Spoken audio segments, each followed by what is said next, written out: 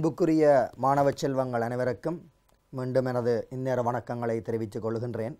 மீண்டும் ஒரு தடவை இந்த பொருளியலில் தேர்ச்சி பதினொன்றின் அடிப்படையில் உங்களை சந்திப்பதிலிட்டு சந்திப்பதையிட்டு பெருமகள் அடைகின்றேன் அந்த வகையில் இறுதியாக கடந்த வகுப்பில் நாங்கள் பார்த்த விடயத்தினூடாக கடந்த வ- வகுப்பில் நாங்கள் பொருளாதார வளர்ச்சி பொருளாதார அபிவிருத்தி நீடித்த விருத்தி என்பவற்றிற்கு அடுத்தபடியாக பொருளாதாரத்தில் காணப்படுகின்ற அல்லது அண்மை காலங்களில் பொருளாதாரங்கள் எதிர்நோக்கி கொண்டிருக்கின்ற ஒரு பிரச்சனையாகிய வறுமை பிரச்சனையினை பற்றி ஆராய்ந்திருந்தோம். இப்போ பிரதானமாக பிள்ளைகள் அந்த வறுமையினை நீங்கள் கருத்தில் எடுக்கும் பொழுது இந்த இரண்டு பிரதான விடயங்களை நான் கடந்த வகுப்பில் உங்களுக்கு தெரிவித்திருந்தேன். ஒன்று பிள்ளைகள் அந்த மக்களால் பெற்றுக்கொள்ளக்கூடிய அந்த அடிப்படை வருமானம். இரண்டாவது பிள்ளைகள் அந்த வருமானத்தினை கொண்டு அந்த மக்கள் தங்களது அன்றாட போசனை அல்லது அன்றாட போசாக்குக்கு தேவையான அந்த போசாக்கு மட்டம் அல்லது போசனை மட்டம். அப்போ இந்த விடயங்களை அடிப்படையாக கொண்டு அந்த வறுமையின் அடிப்படைகளையும் அந்த வறுமை பற்றிய எண்ணக்கருக்களை நாங்கள் வேறு வேறு அடிப்படைகளாக பார்த்தோம். அப்போ அதில் பிள்ளைகள் பிரதானமாக கடந்த வகுப்பில் தேசிய வறுமைக்கோடு அல்லது தேசிய வறுமை நிகழ்வினை பற்றி கற்றோம். சர்வதேச வறுமைக்கோடு சர்வதேச வறுமை நிலையினை பற்றி பார்த்தோம். ஆட்கணிப்பு வறுமை சுட்டியினை பற்றி பார்த்தோம். அதனை விட ஏனைய வறுமைக்குரிய சில குறிகாட்டிகளாக ஒரு நபர் உழைக்கின்ற வருமானத்தினை அடிப்படையாக கொண்டு தனிநபருக்குரிய வறுமை எவ்வாறு செல்லுகின்றது? மானுட வறுமை எவ்வாறு செல்லுகின்றது? நுகர் வறுமை எவ்வாறு செல்லுகின்றது? பல்பரிமாண வறுமை சுட்டி எவ்வாறான விடயங்கள் மூன்று விடயங்களை உள்ளடக்குகின்றது? இப்படியான விடயங்களை இறுதி வகுப்பில் நாங்கள் பார்த்தோம். அதனைத் தொடர்ந்த பிள்ளைகள் வறுமையின் இரு பிரதான வகைகள் வறுமையின் இரு பிரதான அடிப்படைகள் என்ற அடிப்படையில் இரண்டு பிரதானமான வறுமையினை சற்று நாங்கள் நோக்க வேண்டியதாக காணப்படும். இரண்டு பிரதானமான அடிப்படை அல்ல இரண்டு பிரதான வறுமையின் வகைகளை நாங்கள் பிரதானமாக நோக்க வேண்டி காணப்படுகின்றது. அதில் ஒன்று பிள்ளைகள் பாருங்கள் முழு வறுமை. அப்சலோட் பவர்ட்டி என்று சொல்கிறோம் ரெண்டாவது சார்பு வறுமை அல்லது ஒப்பீட்டு வறுமை என்று சொல்லுவோம் ரிலேட்டிவ் பவர்ட்டி என்று சொல்லுவோம் அப்போ முழு வறுமை சார்பு வறுமை. ஒரு பிரதானமான இரண்டு வறுமையின் அடிப்படைகள் என்ற அடிப்படையில் முழு வறுமை சார்பு வறுமை. இப்போ முழு வறுமை என்பது பிள்ளைகள் நாங்கள் இறுதி வகுப்பில் பார்த்த விஷயம் அந்த வருமானத்தினை நாடுகள் அடிப்படையாக கொள்ளுதல் வேண்டும். நாடுகள் உழைக்கின்ற அடிப்படையான வருமானங்கள். அதாவது குறிப்பிட்ட சர்வதேச வறுமைக்குரிய ஒரு வருமான எல்லை இருக்கின்றது. குறிப்பிட்ட தேசிய வறுமைக்குரிய வருமான எல்லை இருக்கின்றது. இந்த இரண்டு வருமான எல்லைகளையும் அடிப்படையாக கொண்டு முழு வறுமையினை நாங்கள் எடுத்து நோக்கலாம். இப்போ நாங்கள் ஒரு நாட்டினுடைய எல்லை ஒரு நாட்டிற்குரிய வறுமையாக அந்த நாட்டுக்குரிய தேசிய வறுமை கோட்டை கருத்தில் எடுத்தோம். தேசிய வறுமை கோடாக இலங்கைக்குரிய தேசிய வறுமை கோட்டை கருத்தில் எடுத்தோம். அதே போல் ஒரு நாடு ஏனைய நாடுகளுடன் ஒப்பீடு செய்யும் பொழுது சர்வதேச ரீதியிலான வறுமை கோட்டை கருத்தில் எடுத்தோம். சர்வதேச ரீதியிலான வறுமை கோட்டு எல்லையாக அபிவிருத்தி அடைந்து வரக்கூடிய நாடுகளுக்குரிய தலாவரமான தலா வருமான எடுத்தோம். ஒரு நாளுக்குரிய தலா வருமான எல்லை. அபிவிருத்தி அடைந்த நாடுகளுக்குரிய ஒரு நாளைக்கு உழைக்க வேண்டிய தலா வருமான எல்லையினையும் கருத்தில் எடுத்தோம். அதில் பிள்ளைகள் அபிவிருத்தி அடைந்து வரக்கூடிய நாடுகளை நீங்கள் நோக்கும்போது ஒன்று தசம் ஒன்பது யூஎஸ் டாலரினை விட குறைவான ஒரு தலா வருமானத்தினை ஒரு நபர் ஒரு நாளைக்கு உழைக்கிறார் என்றால் அவர் வறிய நபராக இனம் காணப்பட்டார் அதேபோல் அபிவிருத்தி அடைந்த நாடுகளிலும் நான் கடந்த வகுப்பில் உங்களுக்கு தெரிவித்திருந்தேன். அடைந்த நாடுகளில் கூட மிகச் சிறிய அளவிலான வறுமைத்தன்மைகள் காணப்பட முடியும். அப்போ அபிவிருத்தி அடைந்த நாடுகள் கூட இரண்டு தசம் ஐந்து யூஎஸ் டாலரினை சராசரியாக ஒரு நாள் தனிநபர் உழைக்கக்கூடிய அந்த சர்வதேச வறுமை எல்லையாக கொண்டிருக்கின்றது. அவ்வாறான வருமானத்தினை விட குறைந்த வருமானம் பெறும் பொழுது வறிய நபராக அவர் இனம்- இனம் காணப்படுவார். அப்போ இந்த தன்மைகளை அடிப்படையாக கொண்டு வறுமை இனம் காணப்படுகின்ற நிலை அதாவது நாடுகளுக்குரிய சராசரியாக ஒரு நபர் ஒரு நாளையில் உழைக்க வேண்டிய அந்த சராசரி வருமான எல்லையினை அடிப்படையாக கொண்டு அந்த எல்லையினை விட குறைந்த வருமானத்தை உழைப்பாராயின் அங்கு முழு வறுமை என்பது நாம் காணப்படுகின்றது. அப்போ முழு வறுமை பிள்ளைகள் அந்தந்த நாடுகளுக்கே உரித்தான குறைந்தபட்சமான வருமான எல்லையினை விட குறைந்த வருமானம் பெறும் பொழுது ஏற்படும் வறுமையாக காட்டப்படும். ஆகவே நீங்கள் கருத்தில் எடுக்க வேண்டிய விடயம் அந்த அந்த நாடுகளுக்கு வளர்முக நாடுகள் அல்ல அபிவிருத்தி அடைந்து வரும் நாடுகள் வளர்ச்சி அடைந்த நாடுகள். அந்த நாடுகளுக்குரிய சராசரியான நாளொன்றுக்கான வருமான எல்லையினை அடிப்படையாக கொண்டு அந்த எல்லை வறுமை கோடு என்று சொல்கின்றோம். தேசிய வறுமை கோடு சர்வதேச வறுமை என்று சொல்லுகின்றோம். அந்த எல்லையினை அடிப்படையாக கொண்டு அந்த எல்லையினை விட குறைந்தளவான வருமானத்தினை பெற்றுக்கொள்ளும் பொழுது பிள்ளைகள் அவரால் அடிப்படை தேவையினை கூட பெற முடியாத ஒரு வருமானம். ஆகவே அந்த அடிப்படை தேவைகளை கூட அவர் பெற முடியாத நிலையில் காணப்படுவார். அதன் காரணமாக ஏனைய அத்தியாவசிய தேவைகளை கூட அவர் பெற முடியாத நிலையில் காணப்படுவார். இந்த நிலை பிள்ளைகள் முழு வறுமை என்று சொல்லுவோம். அவை பாருங்கள் பிள்ளையர் முழு வறுமை என்பது குறித்தொரு நபர் அல்லது வீட்டுத்துறையினருக்கு அடிப்படை தேவைகளை நிறைவேற்றுவதற்கு போதுமான வருமானம் பெறப்படாத ஒரு நிலையாகும். தேசிய வறுமை நிகழ்வு. அப்போ தேசிய வறுமை என்ற எல்லை பிள்ளைகள் நான் கடந்து வாப்பு உங்களுக்கு தெரிவித்திருந்தேன். சர்வதேச வறுமை நிகழ்வு. அப்போ சர்வதேச வறுமைக்குரிய வருமான எல்லையை நான் கடந்து வகுப்பு உங்களுக்கு தெரிவித்திருந்தேன். இவற்றை விட குறைந்த அடிப்படையில் வருமானம் பெறும் பொழுது அவர் முழு வறுமையினை அனுபவிக்கும் நபராக அந்த வீட்டுத்துறையோ அல்லது அந்த தனிநபரோ இனம் காணப்படுவார்கள். அவை இது பற்றிய மேலதிக விடயங்களை பிள்ளைகள் நான் கடைசி வகுப்பில் கற்பித்த விடயங்களுடன் ஒப்பிட்டு பாருங்கள். அதன் மூலம் நீங்கள் கூடுதலான விளக்கத்தை பெற முடியும். அதற்கடுத்த பாருங்க பிள்ளைகள் சார்பு வறுமை. இதுக்கு மரபேறு பிள்ளைகள் ஒப்பீட்டு வறுமை. சார்பு ஒப்பீடு ரிலேட்டிவ் பவர்ட்டி என்று சொல்கிறோம் சார்பு என்பது பிள்ளைகள் இந்த பாடத்தில் அல்ல இந்த தேர்ச்சியில் அல்லது இந்த அழகில் மட்டுமல்ல வேறு விடயங்களில் கூட வரலாம். சார்பு விலை சார்பு வறுமை சார்பு வருமான பங்கீடு. இந்த சார்பு சார்பு சார்பு என்பது பிள்ளைகள் ஒப்பீடு. நான் கடந்த வகுப்பிலும் உங்களுக்கு குறிப்பிட்டிருந்தேன் ஒன்றுடன் இன்னும் ஒன்றை ஒப்பிட்டு பார்த்தல் சார்பு. ஒரு விலையுடன் இன்னும் ஒரு விலையினை ஒப்பிட்டு பார்த்தல் சார்பு விலை. ஒரு நபரின் வருமானத்துடன் இன்னும் ஒரு நபரின் வருமானத்தை ஒப்பிட்டு பார்த்தல் சார்பு வருமான பங்கீடு. ஒரு நபரின் வறுமைத்தன்மையுடன் இன்னும் ஒரு நபரின் வறுமைத்தன்மையினை. அல்ல ஒரு நபரின் செல்வந்த தன்மையுடன் இன்னும் ஒரு நபரின் வறுமைத்தன்மையினை.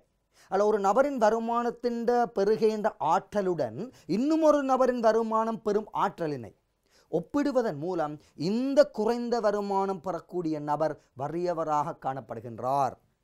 என்பதை அடிப்படையாக கொண்டு வறுமை குறிப்பிடப்படுமாக இருந்தால் சார்பு வறுமை என்று சொல்லுவோம் அல்லது ஒப்பீட்டு வறுமை என்று சொல்லுவோம் ஆவே பிள்ளைகள் பொதுவாக இந்த உலக நாடுகள் மத்தியிலான ஒரு பொதுவான ஒரு கணிப்பீடு இருக்கின்றது பிள்ளைகள்.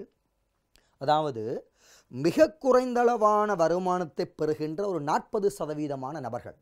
அப்போ நீங்கள் மாறி பார்த்தீர்களாக இருந்தால் கூடிய வருமானம் பெறக்கூடிய நபர்கள் ஒரு அறுபது சதவீதமான நபர்கள் என்ற ஒரு பகுதியினை ஒரு கேட்டகரியை நீங்கள் நாம் காண முடியும்.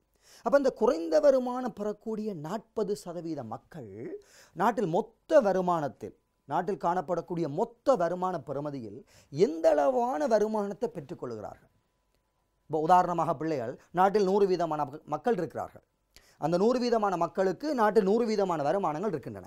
அந்த நூறு வீதமான வருமானங்களில் நூறு வீதமான வருமானங்களில் அறுபது வீதமான மக்கள் அறுபது வீதமான மக்கள் தொண்ணூறு வீதமான வருமானத்தை பெறுகிறார்கள் என்று வைப்போம். நூறு வீதமான மக்களில் பிள்ளைகள் அறுபது வீதமான மக்கள் தொண்ணூறு வீதமான வருமானத்தை பெறுகிறார்கள். மிகுதி நாற்பது வீதமான மக்களும் பிள்ளைகள் எஞ்சிய பத்து வீதமான வருமானத்தையே பெறுகிறார்கள். இப்போ சிந்தித்து பாருங்கள் பிள்ளைகள் அறுபது வீதமான மக்கள் தொண்ணூறு வீதமான வருமானத்தை உழைக்கிறார்கள். அப்போ நாட்டில் எந்த பெரிய ஒரு வருமானத்தை அந்த அறுபது வீதமான நபர்கள் உழைக்கிறார்கள்? சிந்திச்சு பாருங்கள். மிகுதி நாற்பது வீதமான மக்கள் மிகுதியாக இருக்கிற வருமானமாகிய அந்த பத்து வீதமான வருமானத்தை பெற்றுக்கொள்கிறார்கள் அப்போ சிந்திச்சு பாருங்கள். நாற்பது வீதமான மக்கள் நாட்டில் மிக குறைந்த வருமானத்தை பெறுகிறார்கள். எனவே இந்த அறுபது வீதமான மக்களுடன் ஒப்பிடும் பொழுது கூடிய வருமானம் பெறும் அறுபது வீதமான மக்களுடன் ஒப்பீடு செய்யும் பொழுது இந்த நாற்பது வீதமான மக்கள் மிக குறைந்த வருமானத்தை பெறுகிறார்கள். இவர்கள் அந்த நபர்களுடன் ஒப்பீடு செய்யும் பொழுது வறிய நபர்களாக இனம் காணப்படுகிறார்கள். வறியவர்களாக எடுத்து நோக்கப்படுகிறார்கள். ஆகவே மாணவ செல்வங்களே இந்த சார்பு வறுமையை நீங்கள் ஒப்பிட்டு பார்க்கும் பொழுது நூறு வீதமான மக்கள் நாட்டில் இருக்கும் இடத்து அதில் அறுபது வீதமான மக்கள் அந்த நூறு வீதமான வருமானத்தில் தொண்ணூறு வீதமான வருமானத்தை உழைப்பதாகவும் ஏனைய நாட்டில் உள்ள நாற்பது வீதமான சதவீத மக்கள் எஞ்சிய வருமானமாகிய பத்து வீதமான குறைந்த வருமானத்தினையும் பெற்றுக்கொள்வதாக நீங்கள் உதாரணமாக எடுத்தால் அந்த நாற்பது வீதமான மக்கள் அறுபது வீதமான மக்களுடன் ஒப்பீடு செய்யும் பொழுது வறியவர்களாக காணப்படுவார்கள். சிந்திச்சு பாருங்கள் பிள்ளைகள் நூறு வீதமான மக்கள் நாட்டில் இருக்கிறார்கள். நூறு வீதமான வருமான பெறுமதி நாட்டில் இருக்கின்றது. அதில் அந்த அறுபது வீதமான மக்கள் நூறு வீத வருமானத்தில் தொண்ணூறு வீத வருமானத்தினையும் மிகுதி நாற்பது வீதமான மக்கள் நூறு வீத வருமானத்தில் மிகுதியாக உள்ள பத்து வீத வருமானத்தையும் பெறுகிறார்கள்.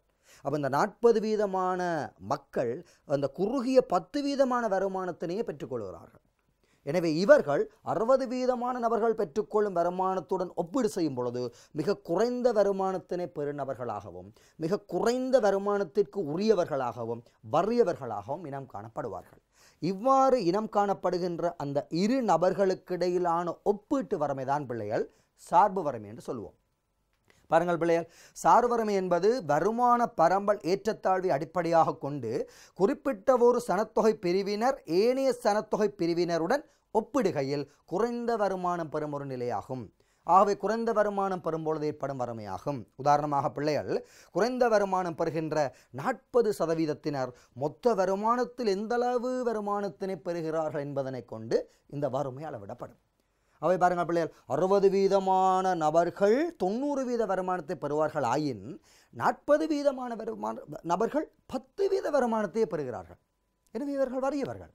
இவ்வாறு ஒரு நபருடன் இன்னும் ஒரு நபரை ஒப்பீடு செய்யக்கூடிய வறுமை கூடிய வருமானம் பெறும் நபருடன் அவர் பெற்ற வருமானத்துடன் குறைந்த வருமானத்தை பெறும் நபர்களை அவர்கள் பெறும் வருமானங்களுடன் ஒப்பீடு செய்கின்ற வறுமை சார்பு வறுமையாக காட்டப்படும். அதனை விட பிள்ளைகள் வறுமையில் ஏனைய வகைகளாக நீங்கள் இரண்டு வகைகளை மேலும் பார்க்கலாம். ஒன்று பாருங்கள் பிள்ளைகள் நுகர்வில் வறுமை இன்னும் ஒன்று பாருங்கள் மானுட வறுமை. இந்த நுகர்வில் வறுமையை நீங்கள் எடுத்து நோக்கும்போது பாருங்கள் பிள்ளைகள் பெரும்பாலும் இந்த நுகர்வு இந்த மக்களது அன்றாட நுகர்வு அல்லது போசனை அல்லது ஏனைய நுகர்வு தொடர்பான விடயங்கள் அல்லது அடிப்படைகளுடன் சம்பந்தப்படுகின்றது. அன்றாடம் தொடர்புடைய நுகர் மட்டம் எனும் பொழுது பிள்ளைகள் அல்லது போசனை மட்டம் எனும் பொழுது பிள்ளைகள் நான் கடைசி வகுப்பில் அல்லது கடைசி செஷனில் உங்களுக்கு சொல்லப்பட்ட அந்த கலோரி பெறுமதி. அதனை விட புரத பெறுமதி. சராசரியாக கலோரி பெறுமதி பொதுவாக நாடுகள் மத்தியில் ரெண்டாயிரத்தி முப்பது அளவு நபர்கள் பெற வேண்டியதாக காணப்பட வேணும் என்று கடைசி வகுப்பில் உங்களுக்கு தெரிவித்திருந்தேன். தற்பொழுது சொல்லுகிறார்கள் பிள்ளைகள் எப்படி என்றால் இள வயதினர் நாங்கள் பொதுவாக இளைஞர்கள் ஜுவதிகள் என்று சொல்லப்படுகின்ற அந்த இள வயதினர் வேலை உலகுக்கு தங்களை தயார்படுத்தி கொண்டிருக்கிற நபர்கள் வேலை உலகிற்கு தங்களை ஈடுபடுத்திக் கொண்டிருக்கின்ற நபர்கள் வேலை உலகிற்கு தங்களால் இயன்ற கூடிய பங்களிப்பினை ஆற்றிக்கொண்டிருக்கின்ற அல்லது ஆற்றப் போகின்ற நபர்களை நாங்கள் சொல்லுவோம் இள வயதினர். ஏறத்தாழ பிள்ளைகள் இருபதிலிருந்து முப்பது வயதுக்கு இடைப்பட்ட நபர்கள். இந்த நபர்கள் ஏறத்தாழ பெற்றுக்கொள்ள வேண்டிய கலோரியாக இரண்டாயிரத்தி ஐநூறு கிலோஜூல் கலோரி சராசரியாக ஒரு நாளை பெற்றுக்கொள்ள வேண்டியதாக காணப்படுகின்றது என்று கூறப்படுகின்றது. அதேபோல புரதம் ஏறத்தாழ ஐம்பத்தி மூன்று கிராம் அளவில் இந்த நபர்கள் இந்த வயதுக்கு இடைப்பட்ட நபர்கள் பெற வேண்டியதாக காணப்படுகின்றது. குறைந்தபட்சம். இதனை விட குறைவாக கலோரியினையோ அல்ல இதனை விட குறைவாக புரதத்தினையோ பெரும் பொழுது அவர்கள் வறிய நபர்களாக தேவையான போசனை அல்லது போசாக்கு மட்டத்தினை பெற்ற நபர்களாக காணப்படவில்லை. இதனால் இவர்கள் வறியவர்களாக காணப்படுகிறார்கள் அல்லது வறியவர்களாக இனம் காணப்படுகிறார்கள். என்று இந்த சுகாதார கூட்டமைப்பு சொல்லுகின்றது. அதாவது குறைந்த பட்சம் ரெண்டாயிரத்து ஐநூறு பருமதியான க கிலோஜூல் கலர் கலோரி. அல்லது ஐம்பத்தி மூன்று கிராம் பருமதியிலான தேவையான புரதம் நாளொன்றுக்கு தேவையான புரதம். இவற்றை கூட அந்த இளவயதினர் பெற்றுக்கொள்ள முடியாத அளவில் நுகர்வை பெறுவார்களாயின் அவர்கள் ஒரு நுகர்வு வறுமையினை அனுபவிக்கிறார்கள். அப்போ பொதுவாகவே பிள்ளைகள் வயது அடிப்படையில் பார்க்காமல் பொதுவாக நாங்கள் பார்க்கும் பொழுது கடந்த வகுப்பில் பார்த்தோம் ரெண்டாயிரத்தி முப்பது பெறுமதியான கிலோஜூல் கலோரியினையாவது பெற்றுக்கொள்ளுதல் வேண்டும் சராசரியாக ஒரு நாளைக்கு. பொதுவாக எல்லா வயதினருக்கிடையிலும் தான் அந்த விளக்கம். அப்போ இப்போ சொல்லுது உலக சுகாதார ஸ்தாபனம் சொல்லிக்கொள்ளுது பிள்ளைகள் எப்படி என்று சொன்னால் குறைந்தபட்சம் அந்த வேலை உலகுக்கு தயாராகின்ற நபர்கள். வேலையில் அக்கறையாற்றலை செலுத்தக்கூடிய அந்த வயதினர். இள வயதினர் இருபது தொடக்கம் ஏறத்தாழ ஒரு முப்பது வயதுக்கு இடையிலான நபர்கள் குறைந்தபட்சம் ரெண்டாயிரத்தி ஐநூறு கிலோஜூல் கலோரியினையும் நாளொன்றுக்கு குறைந்தபட்சம் ஐம்பத்தி மூன்று கிராம் பெறுமதியான புரதத்தினையும் பெற்றுக்கொள்ள முடியாத நிலையில் அவர்களது போசனை. அல்லது பெற்றுக்கொள்ள முடியாத நிலையில் அந்த போசனைக்குரிய வருமானம். அல்லது பெற்றுக்கொள்ள முடியாத நிலையில் அவர்கள் அங்கலாய்க்கிறார்களாக இருந்தால் அது ஒரு நுகர்வரமையாக இனம் காணப்படும். பொதுவாக. இப்போ இங்கே பாருங்கள் பிள்ளைகள் நுகரல் வறுமையின் வடிவங்கள் இரண்டாகும். அவை முழு வறுமையும் சார் வறுமையாகும் பாருங்கள் பிள்ளை நுகர்வு வறுமையானது போசனை மட்டத்தை அடிப்படையாக கொண்டு போசனை என்பது பிள்ளைகள் போசாக் என்று கூட அழைக்கப்படலாம். அடிப்படையாக கொண்டு கூறப்படுகின்றது. பாருங்கள் பிள்ளைகள் உலக சுகாதார கட்டமைப்பின்படி இருபது தொடக்கம் முப்பது வயதுக்கு இடைப்பட்ட ஒரு நபருக்கு நாளொன்றுக்கு குறைந்தபட்சம் ரெண்டாயிரத்தி ஐநூறு கலோரியும் ஐம்பத்தி மூன்று கிராம் அவசியமான புரதமும் தேவைப்படுமா? அதனை விட பிள்ளைகள் இப்போ பொதுவாக தன் அந்த அந்த நாடுகள் தங்களுக்கிடையிலான ஒரு பொதுவான அளவு திட்டங்களை கூட பின்பற்றுகின்றது.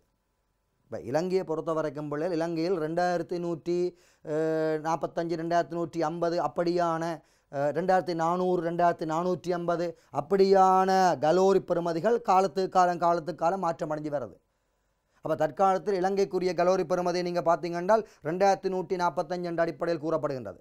இந்த ரெண்டாயிரத்தி நூற்றி நாற்பத்தஞ்சு கலோரி இலங்கையில் பெறக்கூடிய நபர் இருந்தார். அல்லது அதனை விட கூட கலோரி நுகரை பெறக்கூடிய வல்லமை இருக்கிறார் என்றால் ஓரளவு நுகரு வறுமைக்கு அவர் அப்பாற்பட்ட நபர். ரெண்டாயிரத்தி நூற்றி நாற்பத்தஞ்சு வறுமைக்கு கீழ்ப்பட்ட நபராக இருந்தால் இலங்கை நுகர் வறுமையை அனுபவிக்கும் நபராக காட்டப்படுகின்றது.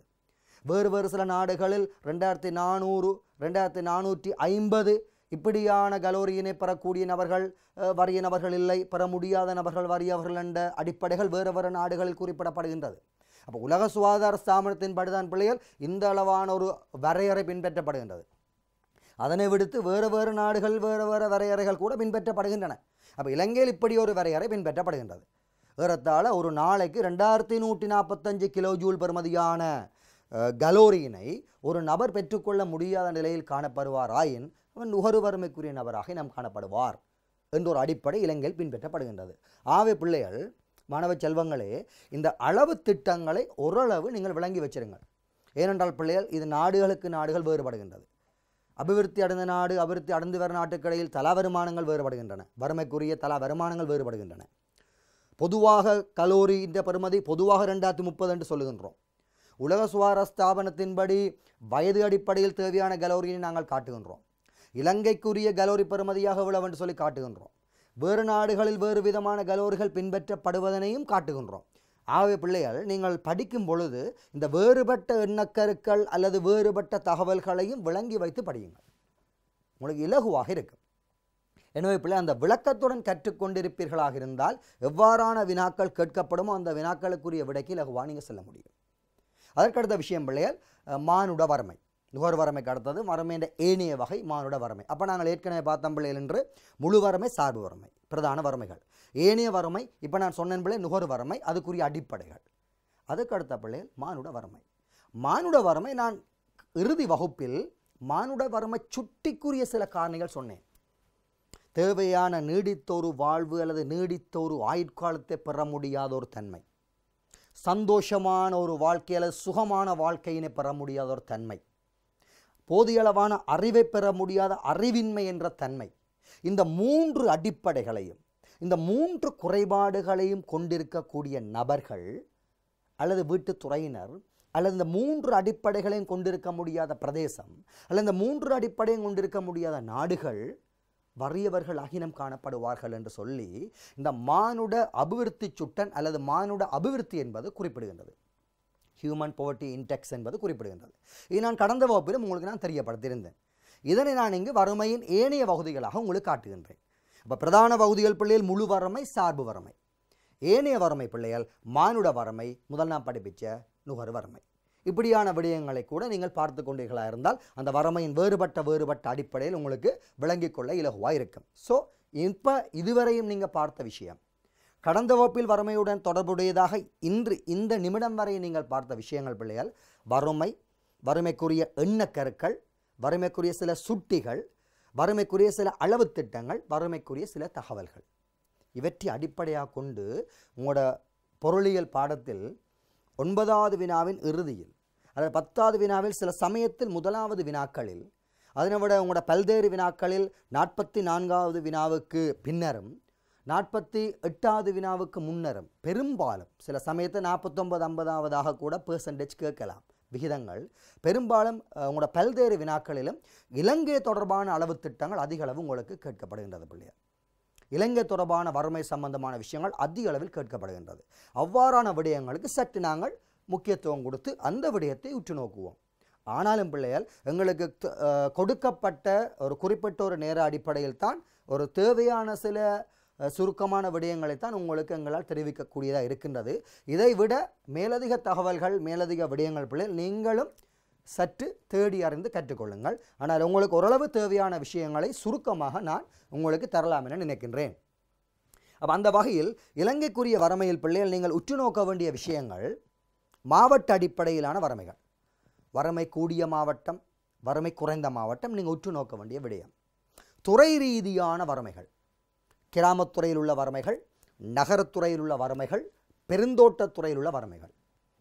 இலங்கையில் பொதுவாக சராசரி தனிநபர் வறுமை. பொதுவாக இலங்கையில் சராசரி தனிநபர் வறுமை.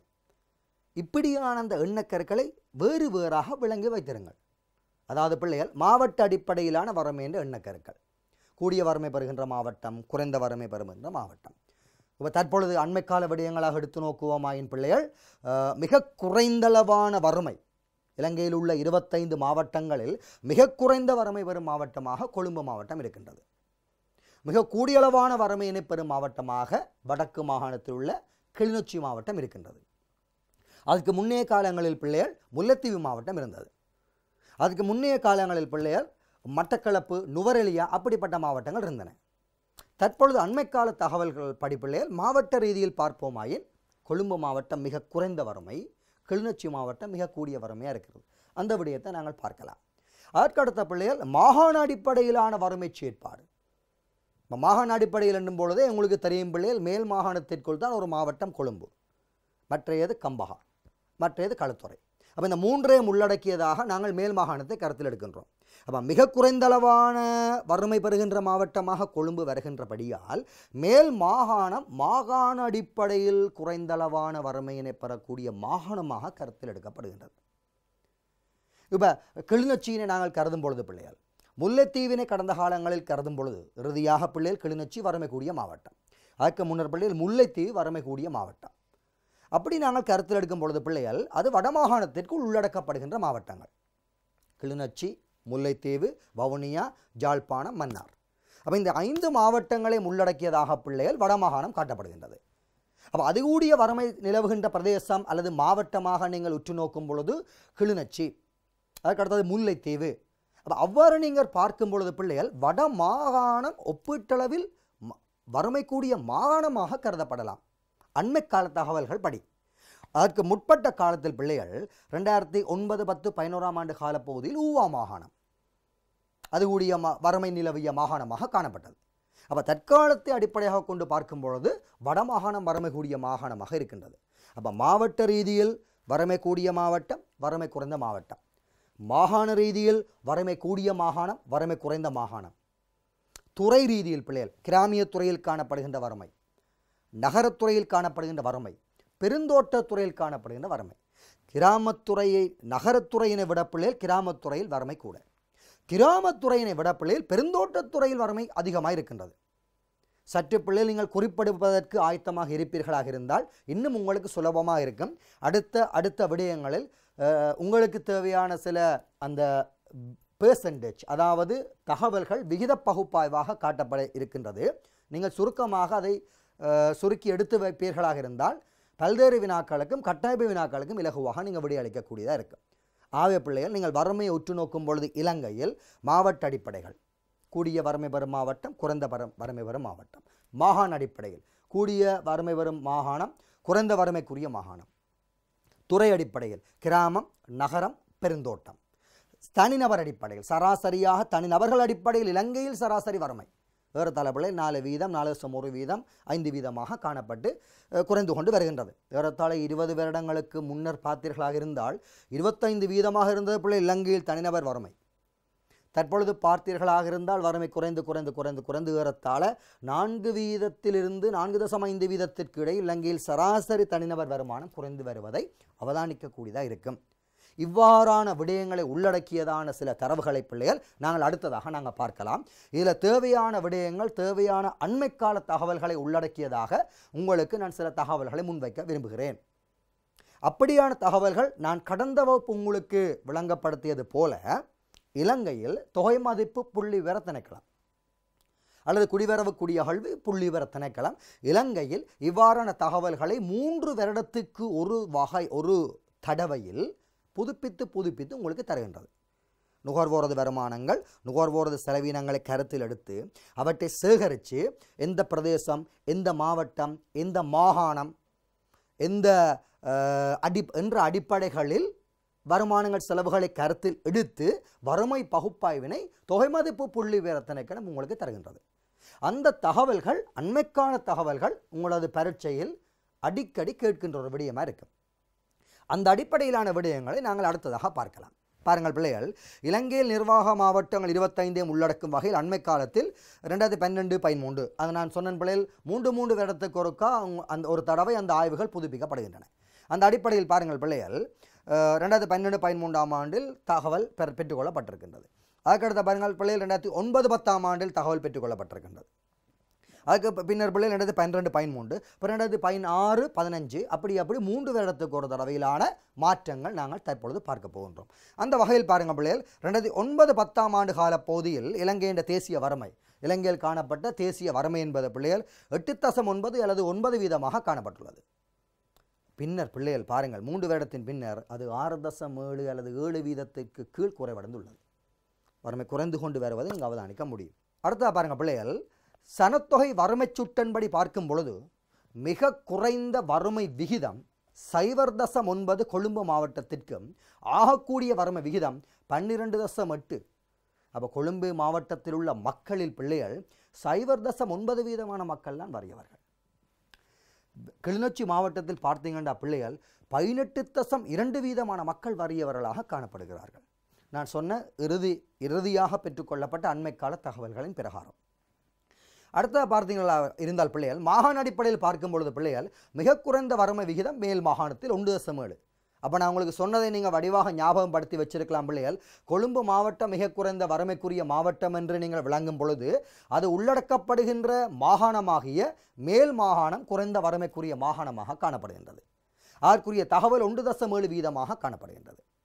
அதற்கடுத்தது பிள்ளைகள் கிளிநொச்சி மாவட்டம் வறுமை கூடிய மாவட்டமாக காணப்படுவது உங்களுக்கு விளங்கும் பொழுது பிள்ளைகள் அது உள்ளடக்கப்படுகின்ற மாகாணம் வடக்கு மாகாணம்.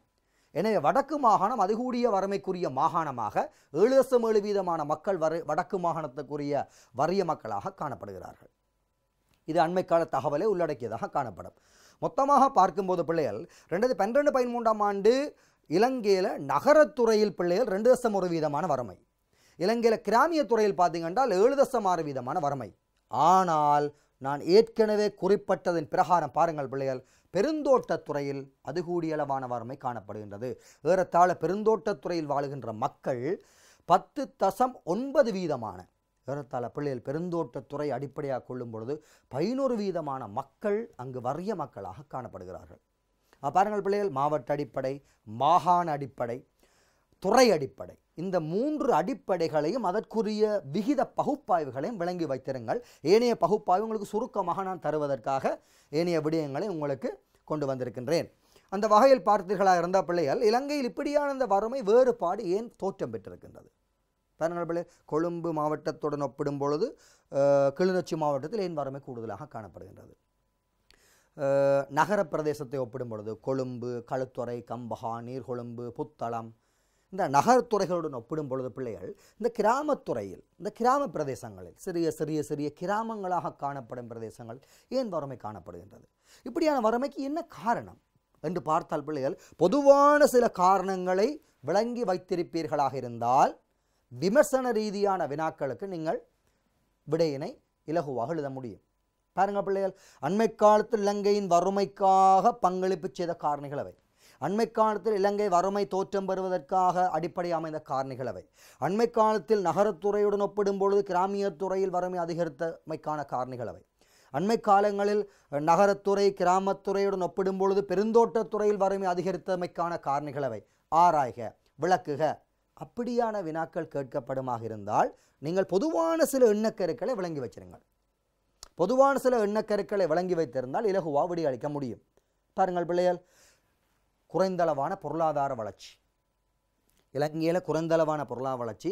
அந்த பொருளாதார வளர்ச்சி பிள்ளைகள் கிராமத்துறையில் மிக குறைவாக இருந்தார் சில வறிய பிரதேசங்களில் மிக மிக குறைந்த உற்பத்தி வளர்ச்சி இருந்தார் ஸோ பொருளாதார வளர்ச்சி குறைவு. குறைந்தளவான கல்வி. கூடியளவான குடும்ப சுமைகள். குடும்ப சுமைகள் என்றும் பொழுது பிள்ளைகள் பிள்ளைகள் அதிகரித்திருத்தல் சில கிராமத்தில் சில குடும்பத்தில் பிள்ளைகள் அதிகமாக இருத்தல். அந்த கிராமத்தில் காணப்படக்கூடிய சில இயற்கை அழிவுகள். அந்த கிராமத்திலே தொடர்ச்சி ஏற்படக்கூடிய சில வன்முறை செயற்பாடுகள். பொருத்தமான ஒரு நிர்வாக கட்டமைப்புகள் அந்த சில பிரதேசங்களில் முன்வைக்கப்பட்டிருக்காங்க. அதாவது சிறந்த ஒரு ஆட்சி முறை இருந்தால் ஒரு சிறந்த நிர்வாக கட்டமைப்பு இருக்கும். பக்கச்சார்புகள் இருக்காது. அப்போ ஒரு சிறந்த நிர்வாக கட்டமைப்பு அங்கு காணப்படாமல் இருத்தல். இப்படியான கல்வி அறிவு மிக குறைவாக அந்த பிரதேசம் இருத்தல். அதில் கல்வி அறிவில் அஹ், சில நபர்கள் சில அதிகாரிகளால் அவர்கள் கருத்தில் எடுக்கக்கூடிய கரசனை காட்டப்படாத நபர்களாக காணப்படுதல். இப்படியான பொதுவான சில விஷயங்களை விளங்கி வைத்திருப்பீர்களாக இருந்தால் நான் முதல் சொன்ன அப்படியான வினாக்களுக்கு விடை உங்களால் வழங்க முடியும். பொதுவான வினா விடயங்கள் சிலது குறிப்பிடப்பட்டிருக்கு. பாருங்கள் பிள்ளையார் பாருங்கள். இலங்கையில் வறுமையில் தாக்கம் செலுத்தும் பொதுவான காரணிகள் பிள்ளைகள் வளர்ச்சி மட்டம் குறைவாக இருத்தல் சனத்தொகை வளர்ச்சி விரைவாக இருத்தல். இயற்கையாக ஏற்படக்கூடிய அந்த அனர்த்த பிரதேசங்கள். கீழ்கட்டை வசதிகள் மிகவும் பலவீனமாக இருத்தல். போதியளவான உட்கட்டைப்பு வசதிகள் அந்த பிரதேசங்களில் சில பிரதேசங்கள் இல்லை. சில பிரதேசங்களில் உட்கட்டை வசதியே இல்லை.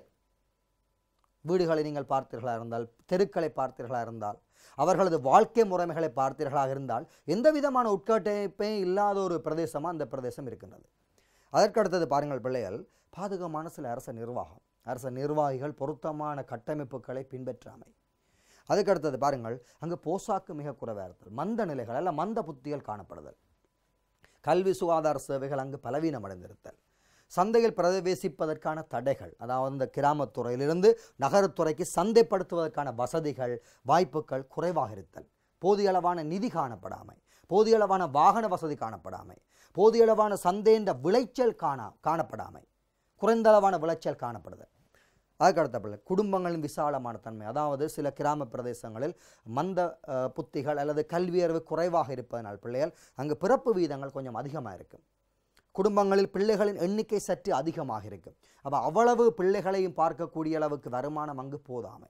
குடும்பங்களின் விசாலத்தன்மை. கலாச்சார செல்வாக்கு.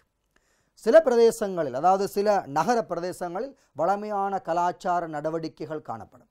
அந்த கலாச்சாரத்தை முகங்கொடுக்கிற தன்மைகள் அந்த கலாச்சாரத்தை வெற்றிகரமாக எதிர்நோக்கிற தன்மைகள் அவற்றிற்குரிய வருமானங்கள் அங்கு போதிய அளவு இருக்கும் ஆனால் சில சில பிரதேசங்களில் வேறுபட்ட கலாச்சார பழக்க வழக்கங்கள் பழங்குடி கலாச்சார பழக்க வழக்கங்கள் பழைய கால மரபு ரீதியான பழக்க வழக்கங்கள் அந்த பழக்க வழக்கத்துக்களே அடிமையாக இருப்பதனால அவர்கள் வெளியில் வர முடியாதவர்களாக காணப்படுவார்கள்.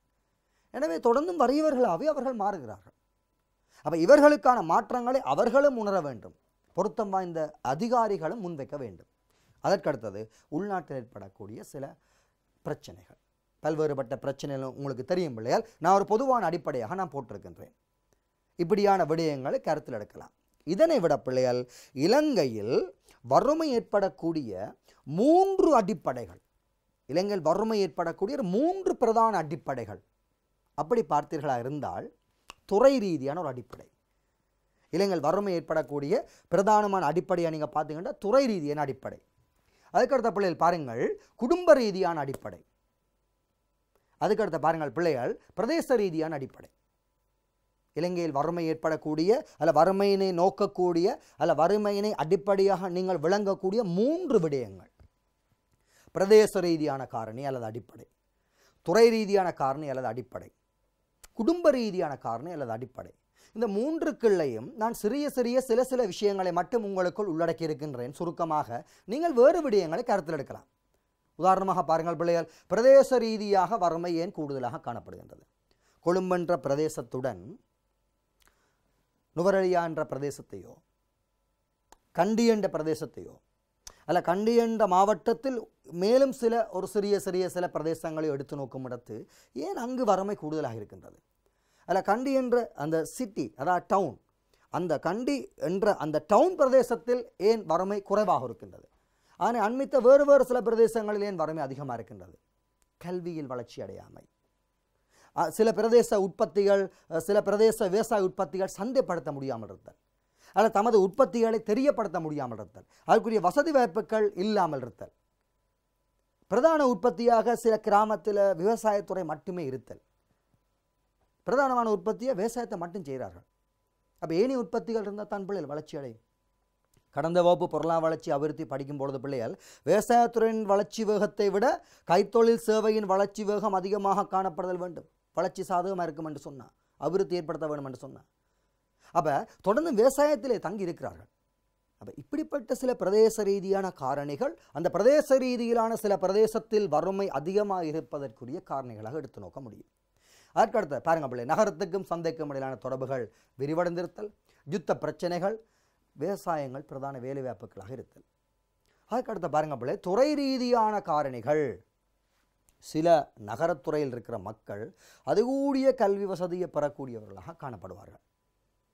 அது அரசாங்க கல்வி செயற்பாடுகளோ தனியார் கல்வி செயற்பாடுகளோ அல்ல அரசாங்கத்துறை தனியார் துறை இணைந்த கல்வி செயற்பாடுகளோ அதிக அளவில் பாருங்கள் பிள்ளைகள் நகரத்துறையில் அதிகமாக இருக்கும் கிராமத்துறையில் குறைவாக இருக்குது அப்போ அந்த நகரத்துறைக்கு போய்த்தான் அவரால் கல்வி கேட்க முடியும் முன்னேற்றம் அடைய முடியும் முன்னுக்கு வர முடியும் வறுமையை இல்லாமல் செய்ய முடியும் என்பது அவருக்கு ஒரு சவாலான விஷயம். அல்ல அந்த நபர்களுக்கு ஒரு சவாலான விஷயம். ஸோ இது அந்த அந்த சில ந- துறைகளுக்கு இடையிலான வறுமைக்கு ஒரு பெரிய ஒரு காரணம். அதற்கடுத்த விடயம் பாருங்கள் பிள்ளைகள். விவசாயத்துறையின் விளைதிறன் குறைவாக இருக்குது எதிர்பார்த்தளவான விளைதிறன் காணப்படாமல் எதிர்பார்த்தளவான உற்பத்தி அளவு பெற்றுக்கொள்ளப்படாமல் அதிகரித்தளவான உற்பத்தி பெற்றுக்கொள்ளப்படமாக இருந்தால் அதிக அளவில் சந்தைப்படுத்தி அதிக அளவில் லாபத்தையும் வருமானத்தையும் உழைக்க முடியும். அந்த நிலை குறைவாக இருத்தல். இவையெல்லாம் பிள்ளையர் துறை ரீதியான காரணிகளாக பார்க்கலாம். குடும்ப ரீதியான காரணிகள் இங்கே இந்த என்ற ஒரு மூன்றாவது கட்டமாக குடும்ப ரீதியான காரணிகள். குடும்ப சில குடும்பங்களில் பிள்ளைகள் எண்ணிக்கை அதிகமாக இருத்தல். சில குடும்பங்களில் காணப்படக்கூடிய சில கலாச்சார பழக்க வழக்கங்கள். சில குடும்பத்தில் சில நபர்கள் பார்த்தீர்களாக இருந்தால் பிள்ளை இந்த போதைப் பொருட்கள் மதுபானங்களுக்கு அடிமையாக இருப்பார்கள். இப்போ அண்மையில் பிள்ளைகள் சிரிக்கக்கூடிய ஒரு விடயம் அல்ல. அண்மையில் இந்த கொரோனா பிரச்சனையில் பிள்ளைகள் ஊரடங்கு சட்டம் அமுல்படுத்தப்பட்டிருந்து ஊரடங்கு சட்டம் விடுபட்டிருந்தது. நீங்கள் எல்லா ஊடகங்களிலும் பார்த்திருப்பீர்கள். மக்கள் பல்வேறுபட்ட அத்தியாவசிய தேவைகளுக்கு முந்தி அடித்துக்கொண்டு வரிசையில் நின்றது என்பது ஒரு புறம் இருக்க பிள்ளைகள் மதுபான சாலைகளில் மதுபான விற்பனை நிலையங்களிலும் வரிசையில் நின்றார்கள். சில சில ஊடகங்களில் சில செய்திகளில் அதையும் விசாலத்தன்மையாக காட்டினார்கள். இது உண்மை. இப்போ இவர்களால் அதை விலகி வைக்க முடியவில்லை. அதிலிருந்து விலக முடியவில்லை. அதுக்கு அடிமையானவர்கள் மாறி அடிமையானவர்கள் போல இருக்கிறார்கள். அப்போ இவ்வாறான நிலைகள் அந்த குடும்பத்தில் ஏற்படக்கூடிய தாக்கம். உழைக்கிற வருமானத்தில் அதிகளவான பகுதிகளை இப்படியான போதைப் பொருட்கள் அல்லது மதுபான பொருட்களுக்கு அடிமையாக ஆரம்பிக்கும் பொழுது பிள்ளைகளுக்குரிய கல்விக்குரிய செலவு குறைவடைகின்றது. தேவையான போசாக்கு மருத்துவ வசதி செலவு குறைவடைகின்றது. இப்படியான காரணிகள் பிள்ளைகள் குடும்ப காரணிகளாக நீங்கள் எடுத்து நோக்க முடியும். அதனை விட வேறு வேறு விடயங்கள் தொடர்புடைய விடயங்களையும் பிள்ளை- பிள்ளைகள் நீங்கள் தேடி கற்றுக்கொள்ள முடியும். அதற்கடுத்த விடயத்தை பாருங்க பிள்ளைகள் இலங்கையில் வறுமையை குறைப்பதற்கு எடுக்கப்படக்கூடிய நடவடிக்கைகளை காட்டுதல். இதுவும் பல்வேறுபட்ட அடிப்படையில் இந்த வினாக்கள் கேட்கப்படலாம். அண்மை காலமாக இலங்கையில் வறுமை குறைப்பதற்காக ஏற்படுத்தப்பட்ட நடவடிக்கைகள் அவை. அண்மை காலமாக இலங்கையில் வர வறுமையை குறைப்பதற்காக முன்வைக்கப்பட்ட திட்டங்கள் அவை. எவ்வாறான நடத்தைகள் மூலம் வறுமை குறைக்கப்பட முடிகின்றது? என்று வேறு வேறு வேறு விதமாக எல்லாம் இந்த வினாக்கள் கேட்கலாம் பிள்ளைகள் அப்போ நாங்கள் அந்த சில சில அடிப்படைகளை வைத்து விடையளிக்க முடியும். நான் ஒரு மூன்று அடிப்படை உங்களுக்கு காட்டுகிறேன். நீங்கள் வேறுபட்ட வேறுபட்ட அடிப்படைகளை கூட பிள்ளைகள் நீங்கள் உற்று நோக்க முடியும். ஒன்று அந்த வலுவூட்டல் செயற்பாடுகள் பிள்ளைகள். பாருங்கள் பிள்ளைகள் அதாவது வறிய மக்களை வாழ்க்கை தரத்தை மேம்படுத்துவதற்கான சில சந்தர்ப்பம் அல்லது வறிய மக்களோட வாழ்க்கை தரத்தை வலுவூட்டச் செய்கின்ற செயற்பாடு. வறிய மக்களை தெரிவு செய்து வறிய மக்களை கண்டுபிடித்து அவர்களுக்குரிய சில வாழ்க்கை தரத்தை முன்னேற்றமடைய செயற்பா செய்யும் செயற்பாடுகள். நாங்கள் கடந்த பார்த்தோம் பிள்ளைகள் வரையோர் சார்பான வளர்ச்சியின் இரண்டு அடிப்படைகள். ஒன்று தனிநபர் அடிப்படை இன்னும் ஒன்று சார்பு அடிப்படை. தனிநபர் அடிப்படை பிள்ளைகள் வறியவர்களை தெரிந்தெடுத்தல் வேண்டும். வறியவர்களை தெரிவு செய்து அவர்களுக்கென்று சொல்லி நேரடியாக சில திட்டங்களை முன்வைக்க வேண்டும். அவர்களுக்குரிய உதவி கொடுப்பனவர்கள் அவர்களுக்குரிய மானிய கொடுப்பனவர்கள் அவர்களுக்குரிய வரி சலுகைகள் அவர்களுக்குரிய வரி விடுதலைகள் அவர்களுக்குரிய மேலதிகமான உதவி கொடுப்பனவர்கள் அவர்களுக்கான கல்விச் சேவைகளுக்குரிய விஸ்தரிப்புகள் அவர்களுக்கு தேவையான உட்கட்டமைப்பு வசதிகள் அவர்களுக்கு தேவையான புதிய மூலதன வசதிகள் அவர்களுக்கு தேவையான விவசாயத்துக்குரிய விளைச்சலை தரக்கூடிய நடவடிக்கைகள் இப்படி அவர்களுக்கென்று சில நடவடிக்கைகளை வலுவூட்டச் செய்யும் நடவடிக்கைகளை செய்தார் அப்படியான விடயங்கள் பிள்ளைகள் இருக்கின்றது. அதற்கடுத்த பாருங்க பிள்ளை தீர்மானம் எடுக்கும் செயற்பாட்டில் பங்கு பெற்றக்கூடிய மட்கட்பிரிவினரை வலுவூட்டம் செய்தல்.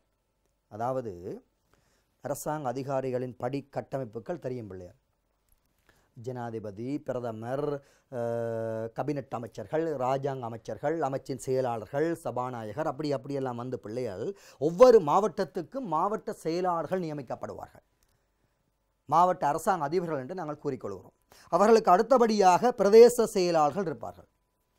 அவர்களுக்கு அடுத்தபடியாக கிராமத்துக்கு பொறுப்பாக இருக்கின்ற கிராம சேவகர்கள் இருப்பார்கள்.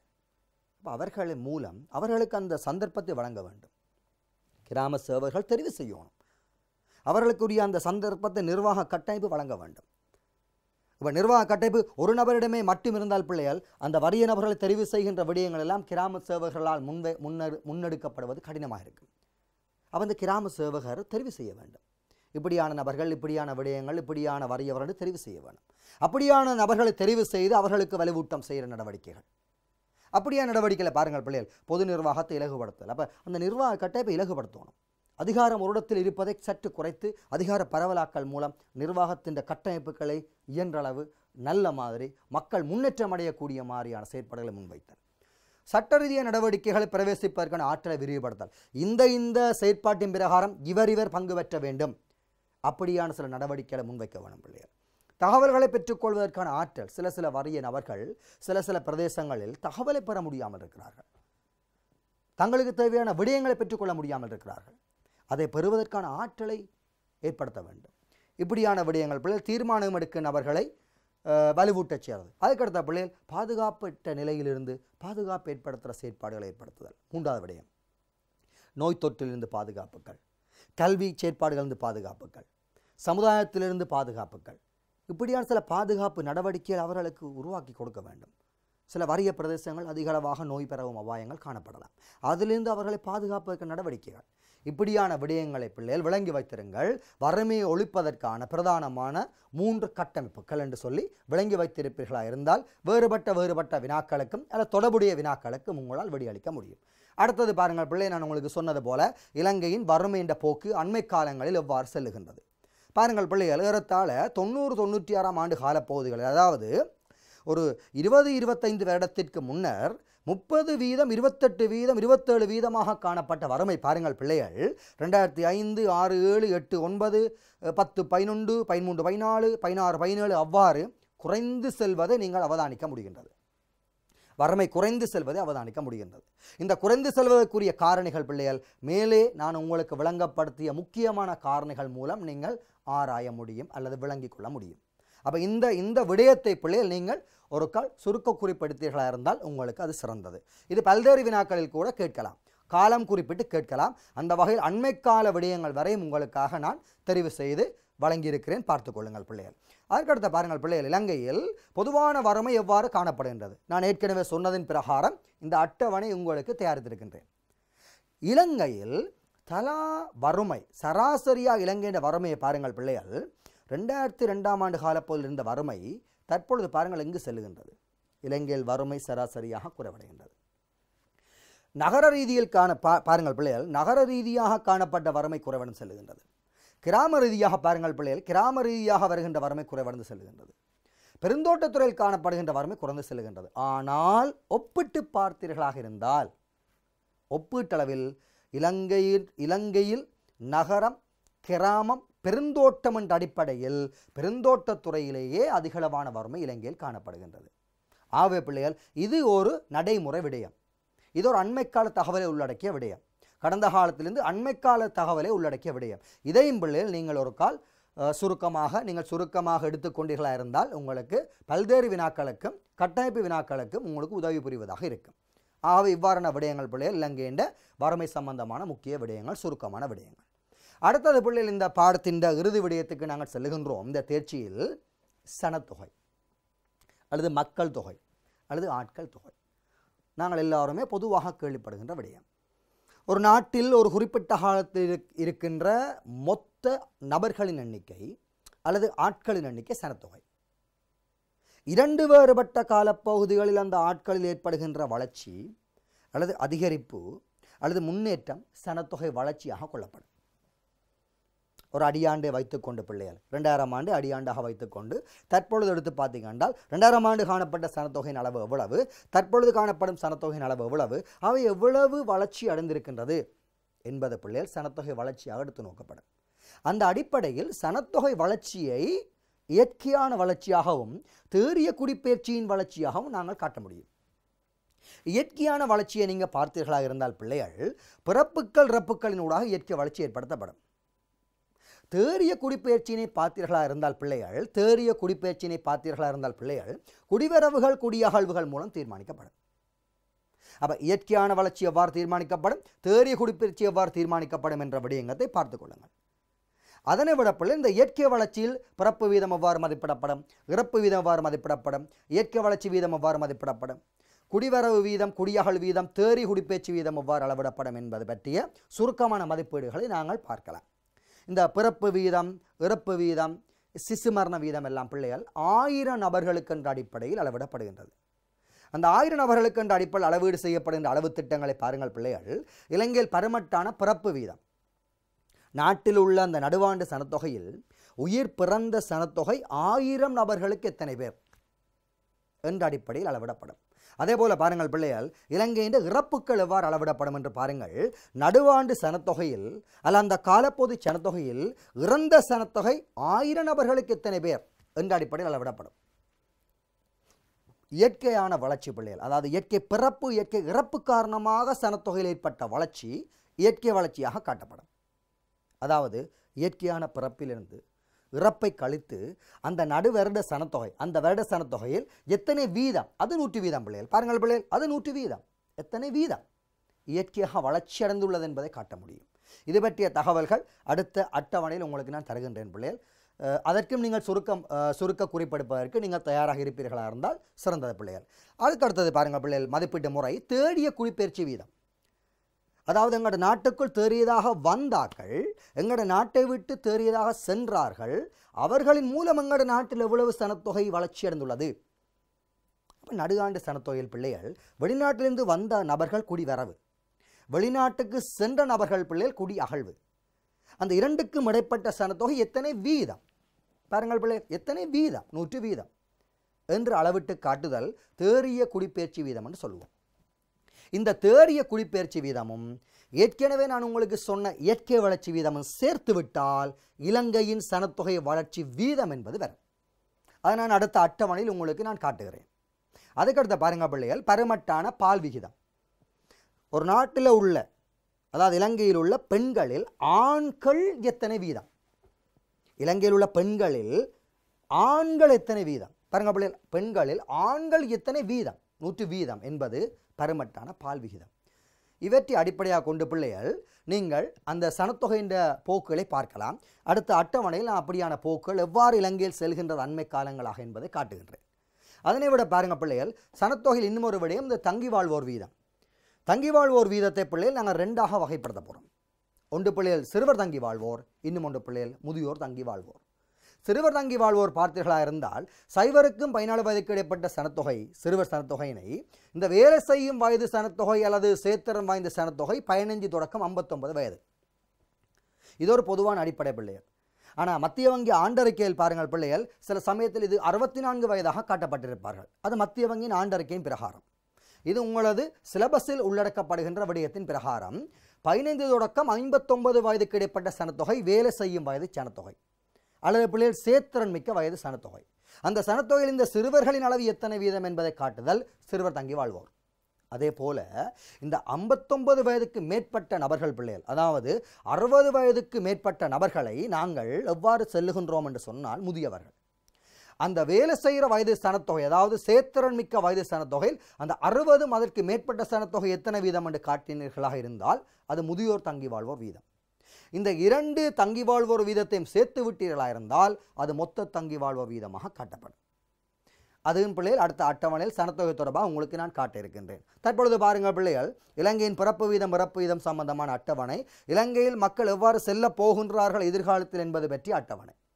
பிறப்பு வீதம் பாருங்கள் பிள்ளைகள் ஏறத்தாழ் இலங்கை சுதந்திரமடைந்த காலத்தின் பின்னர் இருந்து கடைசி காலப்பகுதி வரையில் பார்த்தீர்களாக இருந்தால் குறைவடைந்து செல்வதனை காட்ட முடியும். ஆயிரம் நபர்களுக்கு பிறப்பு வீதம் குறைவடைந்து தற்காலத்தில் ஏறத்தாழ பதினைந்து நபர்கள் ஒரு ஆயிரம் நபர்களுக்கு பதினைந்து நபர்கள் தான் பிறப்பு வீதமாக காட்டப்படுகின்றது. அதே போல் பாருங்கள் பிள்ளைகள் இறப்பு வீதமும் குறைவடைந்து வருகின்றது. மருத்துவ சுர வசதிகள் அந்த இறப்பு வீதம் குறைந்தமைக்கான காரணிகள் பிறப்பு வீதம் குறைந்தமைக்கான காரணிகள் பிள்ளைகள் ஏற்கனவே உங்களது வழிகாட்டி நூல்களில் அல்லது ஆசிரியர் வழிகாட்டி நூலில் காட்டப்பட்டுள்ளது. மேலதிக விளக்கமாக அதை தெரிந்து வைத்திருங்கள். பொருத்தமான காலப்பகுதியில் பிள்ளைகள் தரப்பட்ட குறுகிய ஒரு காலப்பகுதிகளில் அப்படியான விடயங்கள் எங்களால் கையாள்வது கடினம்.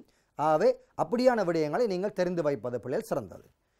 சரி அப்போ பிறப்பு வீதம் குறைவது இறப்பு வீதம் குறைவது அதை விட சனத்தொகையின் வயது கட்டண படிப்படியில் பிள்ளைகள் சனத்தொகையின் வயது அறுபது வயதுக்கு மேற்பட்ட நபர்கள் எதிர்காலத்தில் அதிகரித்து செல்வது அதிகமாக காணப்படுவது கூட இங்கு காட்டப்படுகின்றது. இதனையும் கூட பிள்ளைகள் இதற்குரிய காரணிகளையும் விளங்கி வைத்திருங்கள். அதுக்கடுத்தது பாருங்கள் பிள்ளைகள் இலங்கையின் சனத்தொகையின் பொருத்தமான அடிப்படையில் கடந்த கால தகவல்கள்.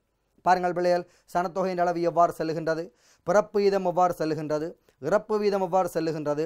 சனத்தொகை அடர்த்தி அதாவது ஒரு சதுர கிலோமீட்டர் பிரதேசத்தில் காணப்படுகின்ற மக்களின் எண்ணிக்கை எவ்வாறு செல்லுகின்றது? சிசு மரண வீதம் அதாவது உயிருடன் பிறந்த பிள்ளைகளில் இறந்த ஒரு வயதுக்குட்பட்ட பிள்ளை ஆயிரம் பிள்ளைக்கு எத்தனை பெயர் உயிருடன் பிறந்த பிள்ளைகளில் ஒரு வயதுக்குட்பட்டு இறந்த பிள்ளைகள் ஆயிரம் நபர்களுக்கு எத்தனை பெயர் எத்தனை பேர் எத்தனை நபர்கள் எத்தனை பிள்ளைகள் என்ற அடிப்படையில் சிசு மரண வீதம் அளவிடப்படுகின்றது. தங்கியிருப்போர் வீதம் நான் ஏற்கனவே சொன்னதின்படி அளவிடப்படுகின்றது. இவ்வாறு அளவு திட்டங்களையும் பிள்ளைகள் நீங்கள் சுருக்க குறிப்புகளாக எடுத்து வைத்திருப்பதன் மூலம் பல்வேறு வினாக்களுக்கு உங்களால் விடையளிக்க முடியும். இப்படியான விடயங்கள் இளைஞர் சனத்தொகையில் காணப்படுகின்றது. அடுத்ததாக நீங்கள் பார்க்கிற விஷயம் பிள்ளைகள் ஊழியப்படை. இது ஏற்கனவே பிள்ளைகள் பதினைந்து வயதுக்கு மேற்பட்ட வேலை செய்யக்கூடிய வயது சனத்தொகையில் வேலை செய்ய முடியாத நபர்களை நீங்கள் நீக்கிறீர்கள். நீக்கிய பின்னர் வேலை செய்யக்கூடிய நபர்கள் வேலை செய்து கொண்டிருக்கின்ற நபர்கள் அது ஊழியப்படையாக காட்டப்படும். இது ஏற்கனவே நாங்கள் முதலாவது பாடத்தில் சில விஷயத்தில் தேர்ச்சியில் முதலாவது தேர்ச்சியில் பார்த்த விஷயங்கள். இதை அடிப்படையாக கொண்டு பிள்ளைகள் நீங்கள் ஊழியப்படை வேலை செய்வோர் வேலை தேடுவோர் என்று பார்க்கலாம். ஊழியப்படையில் பங்களிப்பு செய்கிற வீதம் எடுக்கிறதை நீங்கள் பார்த்துக்கொள்ள வேண்டும். பிள்ளைகள் வேலை செய்யக்கூடிய வயது தொகையில் ஊழியப்படை வேலை செய்கிறாக்கள் வேலை தேடு தேடுகின்ற நபர்களை சேர்த்தீர்களாக இருந்தால் அது எத்தனை வீதம் என்று பார்த்தால் அது தொழிற்படை பங்கேற்பு வீதம் அல்ல ஊழியப்படை பங்கேற்பு வீதமாக வரும். அடுக்கடுத்து வேலையின்மை வீதம் பிள்ளைகள். தொழிற்படையில் வே சாரி வேலை வாய்ப்பு வீதம் தொழிற்படையில் தொழில் செய்வோர் எத்தனை வீதம் என்று காட்டலாம். அடுத்த வேலையின்மை வீதம் தொழிற்படையில் தொழில் அற்றோர் எத்தனை வீதம் என்று காட்டலாம். அதற்கடுத்ததாக பாருங்கள் பிள்ளைகள் இங்கால வேலையின்மைன்ற வகைகள். ஒவ்வொரு வகைகளை பிள்ளை நீங்கள் சுருக்க குறிப்பாக எடுத்து வைத்திருந்தால் சிறந்தது பிள்ளையார் வெளிப்படையான வேலையின்மை உராய் வேலையின்மை பருவகால வேலையின்மை தன்னார வேலையின்மை சுற்றோட்ட வேலையின்மை மறைமுக வேலையின்மை கீழுழைப்பு நிலை கட்டமைப்பு ரீதியான வேலையின்மை இப்படியான விடயங்களையும் நீங்கள் உங்களது அந்த பொருத்தமான உங்களது பாடசாலை ஆசிரியர்கள் மூலமோ அல்லது உங்களுக்கு தெரிந்த பொருளியல் ஆசிரியர்கள் மூலமோ இதற்குரிய சிறு சுருக்க குறிப்புகளை கூட நீங்கள் எடுத்து வைத்திருந்தால் நல்ல பிள்ளையார். அடுத்ததாக உங்களுக்கு காட்டப்படுகின்றது பிள்ளைகள் பாருங்கள். இந்த தொழிற்படை பங்கேற்பு வீதம் இந்த தொழிலற்றோர் வீதம். இலங்கையில் பாருங்கள் பிள்ளைகள் தொழிற்படை பங்கேற்பு வீதம் அண்மை காலங்களாக ஒரு சிறிய ஒரு அதிகரிப்பை காட்டுகின்றது. தொழில் தொழில் அற்றோர் வீதம் பாருங்கள் பிள்ளைகள் இலங்கையில் குறைவடைந்து செல்கின்றது. அப்போ தொழில்படை பங்கேற்கிறார்கள் என்றாப்பில் எங்களுக்கு தெரிகின்றது.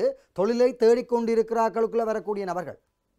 அப்போ இந்த தொழிற்படைக்கு பங்கேற்கின்ற ஆட்கள் அதாவது தொழிலை தேடிக்கொண்டிருக்கிறார்கள் தொழில் செய்கிறார்கள் இலங்கையில் சற்று அதிகரிக்க தொழில் இல்லாத ஆக்கள் குறையுது. இதுக்குரிய காரணிகளையும் பிள்ளைகள் நீங்கள் சற்று அறிந்து வைத்திருத்தல் வேண்டும். அதுக்கடுத்தது பாருங்கள் பிள்ளைகள் இலங்கையில் தொழில் கட்டமைப்பு. விவசாயத்துறையில் பணிபுரிகின்ற நபர்கள் கைத்தொழில் துறையில் பணிபுரிகின்ற நபர்கள் சேவைத்துறையில் பணிபுரிகின்ற நபர்கள் இலங்கையில் எவ்வாறு செல்லுகிறார்கள்? ஒப்பீட்டளவில் பாருங்கள் பிள்ளைகள் விவசாயத்துறையில் பணிபுரிகின்ற நபர்களை விட கைத்தொழில் துறையில் பணிபுரிகின்ற நபர்கள் சற்று அதிகரிக்கிறார்கள். ஏனெனில் கைத்தொழில் துறையில் செல்வாக்கு அதிகரிக்கின்றது இலங்கையில். சற்று நாங்கள் கட்டமைப்பு மாற்றத்தில் கடந்த வகுப்பில் பார்த்தோம். சேவைத்துறையில் வேலை செய்கின்ற நபர்கள் அதிகரிக்கின்றது. அப்போ நூறு வீதமாக மொத்த உள்நாட்டு உற்பத்திக்குரிய வேலையாளர்களை நீங்கள் கருத்தில் எடுக்கும் பொழுது இவ்வாறு காணப்படுகின்ற வேலை செய்கின்ற அளவு ஒவ்வொரு துறைகளிலும் எவ்வாறு செல்லுகின்றது அதற்குரிய காரணிகள் என்ன என்பதை நீங்கள் விளங்கி வைத்திருத்தல் வேண்டும். இவ்வாறான அடிப்படைகளை கொண்டு பிள்ளை இலங்கையின் தொழிற்படை கட்டமைப்புகளோட போக்குகள் ஒவ்வொரு துறையிலும் எவ்வாறு காணப்படுகின்றன என்பதை அறிய வேண்டும். இதற்குரிய மாற்றங்களையும் பிள்ளைகள் நீங்கள் தெரிந்து வைத்திருத்தல் வேண்டும். இலங்கையிலேன் சேவைத்துறைக்குரிய வேலைவாய்ப்பு அளவு கூடுகின்றது. இப்போ தெரியும் பிள்ளைகள் அதிகளவான சேவைத்துறையின் அளவுகள் அதிகரிக்கின்றன. சேவைத்துறையின் உற்பத்திகள் கூடுகின்றன. இப்படியான விடயங்கள் எல்லாம் நீங்கள் தெரிந்து வைத்திருக்கின்றீர்கள். இவ்வாறான விடயங்களை உள்ளடக்கியதாக பிள்ளைகள் நாங்கள் பதினோராவது தேர்ச்சி என்பதை இயன்றளவு சுருக்கமாக முக்கியமான விடயங்களாக உங்களுக்கு நான் தந்திருக்கின்றேன். அந்த அடிப்படையில் பிள்ளைகள் ஓரளவு தேவையான சில விடயங்களை உங்களுக்கு நான் தந்திருக்கின்றேன். மேலதிக சில விடயங்களை பிள்ளைகள் மேலதிக தேடல்கள் மூலம் நீங்கள் பெற்றுக்கொள்ள வேண்டும். உங்களுக்கு உங்களுடன் தொடர்படக்கூடிய உங்களது ஆசிரியர்கள் பொருளியல் ஆசிரியர்கள் மூலமும் நீங்கள் பெற்றுக்கொள்ளுங்கள் பிள்ளைகள்.